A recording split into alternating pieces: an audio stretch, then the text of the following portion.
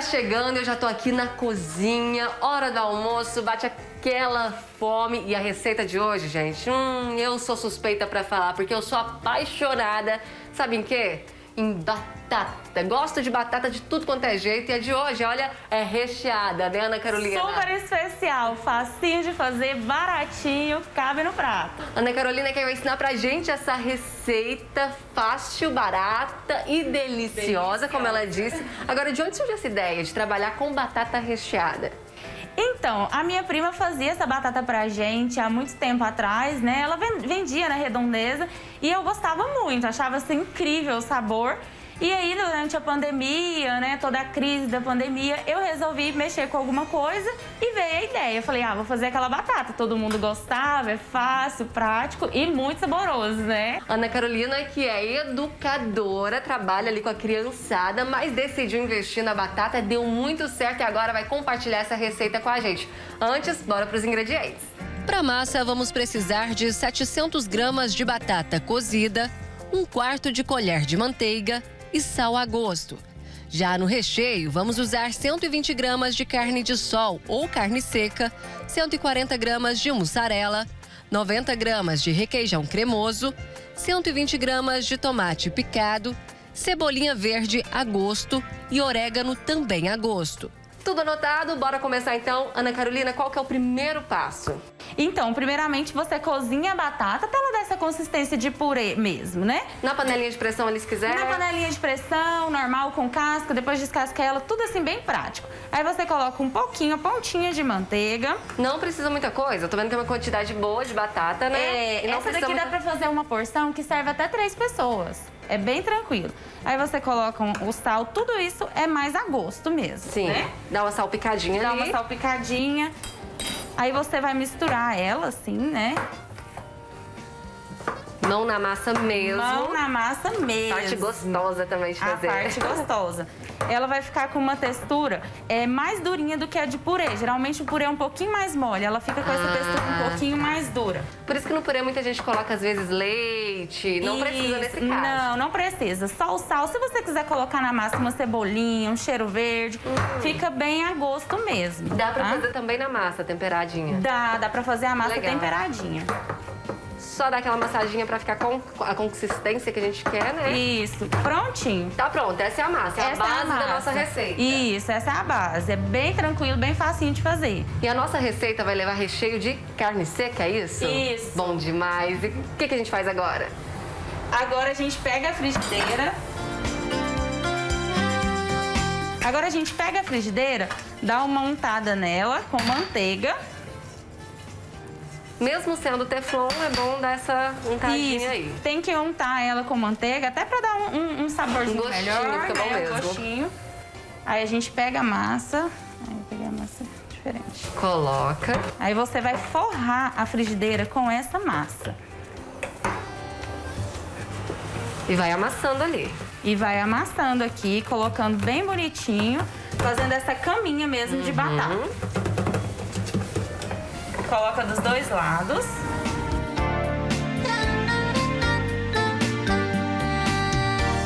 Prontinho. Feita a nossa Aí, cama. Isso, feita a nossa etapa.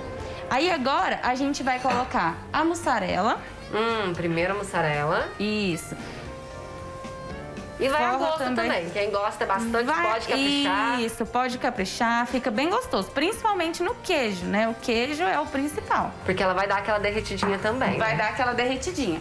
Aí a gente vem com o tomate, né? Tudo assim, bem a gosto mesmo. Aí a gente coloca agora a carne. É, a carne você só dessalga ela normal, né? Passa, põe ali numa cebolinha, numa pimenta de cheiro, bem assim, dá o temperinho. Dá aquela fritadinha no Isso, normal. dá aquela fritadinha, bem o temperinho caseiro mesmo.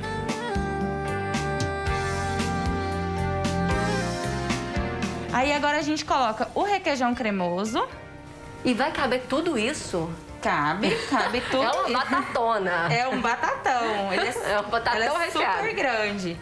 A gente coloca o requeijão cremoso por cima ali mesmo, não precisa Isso. nem misturar não, que ele vai... Não precisa misturar, na hora que derreter aqui, E aí a gente joga um pouquinho de orégano para dar aquele gostinho, né? Tem gente que coloca salsa, tem gente que coloca cebolinha, vai muito do gosto mesmo. E a gente vendo essa praticidade da Ana Carolina, a gente pensa que ela já faz isso há anos. e não, né, Ana Carolina? Você começou a fazer mesmo há pouco tempo, isso, né? Isso, eu comecei a fazer pelo empreendimento mesmo, né? Eu gostava da batata, mas eu não sabia fazer. Então eu comecei a fazer porque eu queria vender. Aí eu comecei a fazer, fiz para um amigo, para algumas pessoas, aí eu vi que dava certo e comecei a fazer. Pesquisou na internet ali? Pesquisei na internet e comecei a fazer. Até para a prima que fazia para você foi surpresa, ela não sabia. Foi, foi surpresa, ela não sabia. Ninguém sabia, na verdade, só o meu namorado e eu fui fazendo assim tudo bem escondido, falei, vai dar certo. E deu. E deu. Agora então pra panela? Pra panela. É só e isso a montagem? É só isso. Aí aqui você pode colocar o recheio que você quiser. Pode ser presunto, bacon, o recheio que você quiser. Frango desfiado que sobrou ali às vezes. Isso, estrogonofe. O que você quiser você pode colocar como recheio. Perfeito. Bora então pro fogo agora.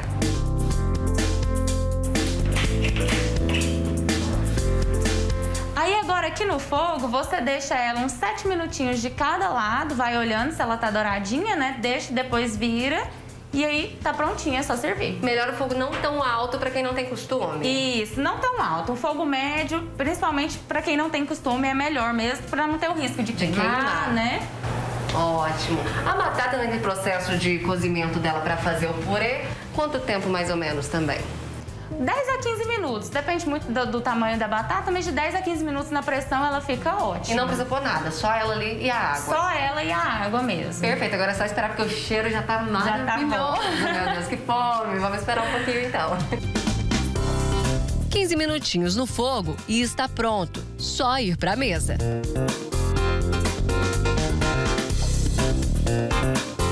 Batata finalizada e olha que linda. Ela deu todo um toque especial aqui, né? Com uma cebolinha picadinha, com a pimenta biquinho, porque a gente também come com os olhos. Agora, uma mega batata. Serve quantas pessoas, Ana Carolina?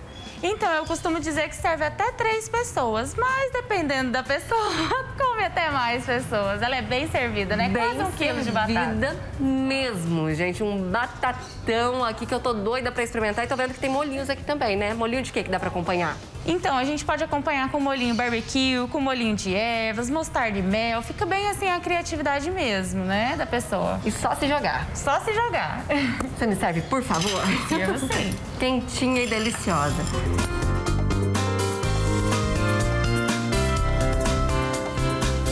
Hum, olha esse queijo, gente. Que que é isso?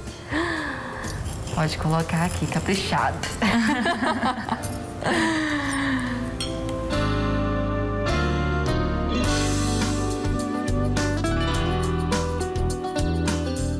A gente agora vai tirar a máscara aqui, né?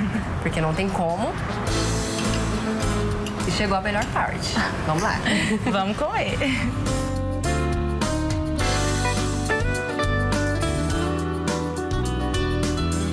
Gente, maravilhosa essa batata. O queijo maravilhoso. A massa, você disse que fica mais durinha e tal, mas não, ela é bem cremosinha ela também, é bem né? Tem o gostinho aqui da manteiga também, que, que deu aquela fritadinha na frigideira. Tudo bom, divino, divino. Parabéns, Ana Carolina. Muito bom. Tenho certeza que o pessoal de casa também vai amar.